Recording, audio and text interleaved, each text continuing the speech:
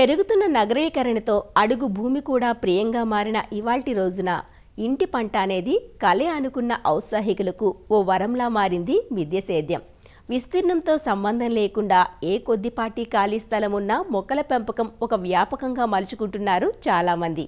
ఎక్కువగా పట్టణవాసులు ఇంటి పంటపై ఆసక్తి చూపుతున్నారు. కరోనా నేర్పించిన పాఠాలతో మరెంతో మంది ఈ వ్యాపకానికి మల్లుతున్నారు అటు ఆహ్లాదంతో పాటు ఇటు ఆరోగ్యాన్ని కూడా సొంతం చేసుకుంటున్న ఒక ఉపాధ్యాయురాలి అనుభవాలను ఈనాటి నందనవనంలో మీ ముందుకు తెస్తుంది మీ అన్నదాత. ఆలస్యం ఎందుకు చూసేద్దాం. రండి మరి.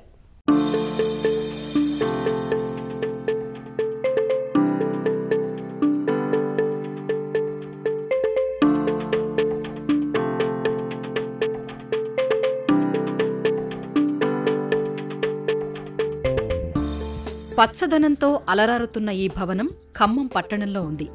వృత్తిరీత్యా ఆంగ్ల ఉపాధ్యాయుని అయిన కైసరీ బేగం ఈ మిద్దెతోట పెంపకందారు కేవలం నూట ముప్పై మూడు గజాల విస్తీర్ణంలో కట్టిన ఈ రెండంతస్తుల మేడను మిద్దె తోటకు ఎంచుకున్నారు.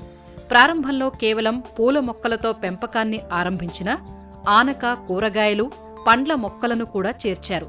ఈ మిద్దె తోటల్లో టమోటా బెండ ఎర్రబెండ బీర సొర కాకర వంగ అన్ని రకాల ఆకుకూరలతో పాటు జామ అంజూర నిమ్మ స్టార్ ఫ్రూట్ వంటి పండ్ల మొక్కలకు కూడా స్థానం కల్పించారు.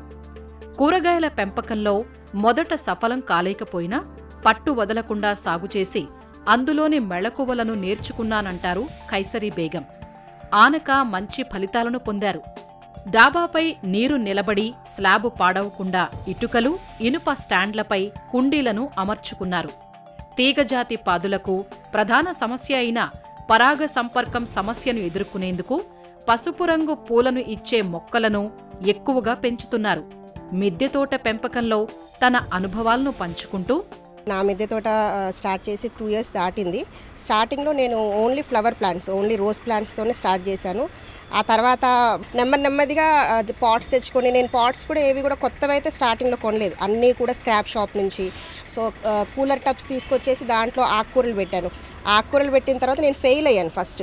అక్కడ ఫెయిల్ అయిన తర్వాత కొంచెం నిరాశ కూడా వచ్చింది. అంటే ఫ్లవర్ ప్లాంట్స్ మంచిగానే వచ్చాయి కానీ ఆకుకూరలు వెజీస్ వచ్చేసరికి నేను కొంచెం ఫెయిల్ అయ్యా.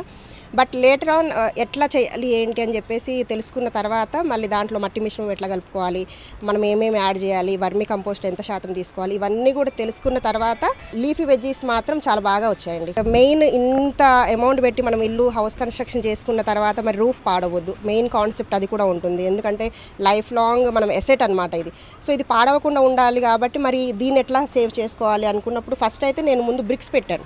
మన ఇటుకలు ఉంటాయి కదా సిమెంట్ ఇటుకలు మామూలుగా ఇటుకలు అవి పెట్టి చేశాను. కానీ అవి దాంతో నేను అబ్జర్వ్ చేసింది ఏంటంటే అవి ఎక్కువ కాలం ఉండట్లేదు.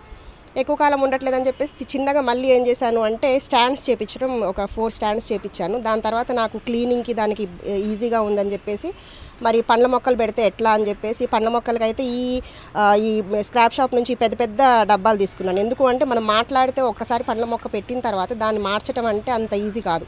దాంట్లో మట్టి ఇసుక వర్మి కంపోస్ట్ నేను వాడేది ఆవు పేడ కానివ్వండి లేకపోతే మేక ఎరువు కానివ్వండి గొర్రె ఎరువు కానివ్వండి అది కలుపుకొని కొంచెం నీమ్ కేక్ కూడా కలుపుకొని మిశ్రమాన్ని అట్లా తయారు చేసుకొని ఒకటి కాన్సెప్ట్ ఏంటి అంటే మనకి పండ్ల మొక్కలకైతే మట్టి మిశ్రమం కొంచెం టైట్గా ఉండాలి. లీఫీ వెజ్జీస్కి అయితే కొంచెం లూజ్గా ఉండాలి కాబట్టి వాటికి అట్లా కలుపుకొని దాని కింద కూడా మరి ఎట్లా పెట్టుకోవాలి? ఒకసారి అది పెట్టిన తర్వాత మళ్ళీ ఎత్తటం వేరే చోటికి చేంజ్ చేసేటప్పుడు మొత్తం పాడైపోతాయి అన్న ఇదితోనే వాటికి కూడా సెపరేట్గా స్టాండ్స్ చేపించేసి నేను మొదలుపెట్టానండి.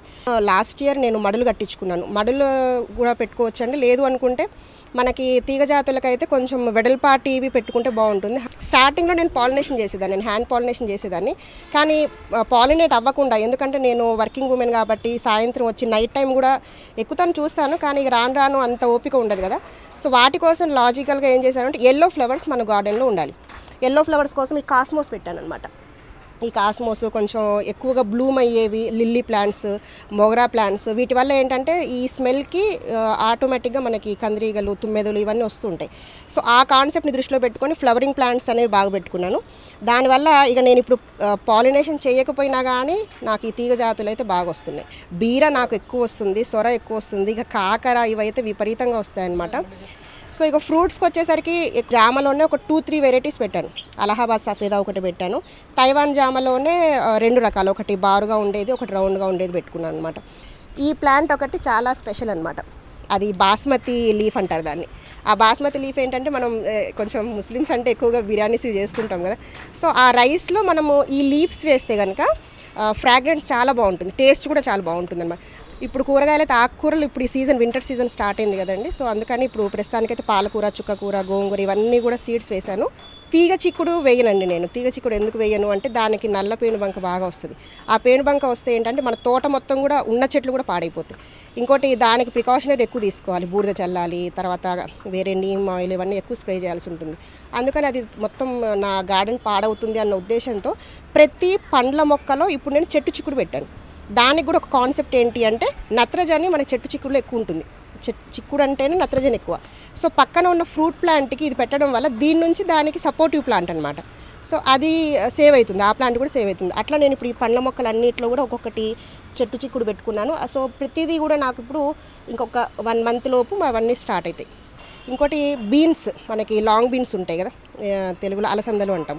ఆ అలసందలు పెట్టాను తర్వాత లవంగం చిక్కుడు అని చెప్పేసి వస్తుంది క్లౌ బీన్స్ అంటాం మనం. ఆ క్లౌ బీన్స్ వెరైటీస్ కొంచెం మనం కూడా చూడాలి కదా అన్నట్టుగా క్లౌ బీన్స్ పెట్టాను. సో ఇక కాకర అయితే ఈ ఈ సైడ్ మొత్తం బాగా కాకర ఉండేనండి. మొన్ననే తీసేసి ఆ మడి ఒక్కటి క్లీన్ చేసేసి దాంట్లో ఇప్పుడు క్యారెట్ కూడా పెట్టాను అనమాట క్యారెట్ సీడ్స్ కూడా పెట్టాను. ఇంతకుముందు రాడిష్ తర్వాత మన బీట్రూట్ ఇవి కూడా అంటే ఎక్స్పెరిమెంట్స్ కొన్ని చేశాను.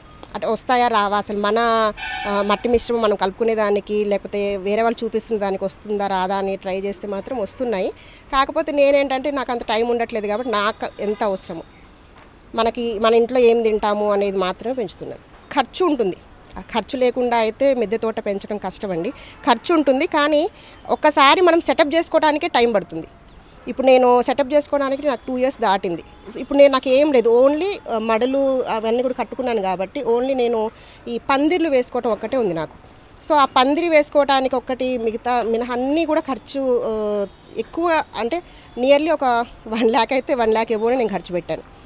సో వన్ ల్యాక్ ఎబోనే ఖర్చు పెట్టాను కాబట్టి ఇప్పుడు నాకు ఏముండదు. ఇప్పుడు నేను తీసుకోవటమే ఉంటుంది ఉన్న కొద్దిపాటి విస్తీర్ణంలో ఒక ప్రణాళిక ప్రకారం మిద్దె తోట పెంపకం చేస్తున్న ఖైసరీ బేగం సమయం లేదు అని భావించే ఎంతో మందిలోనూ భావితరాల్లోనూ స్ఫూర్తి నింపుతున్నారు.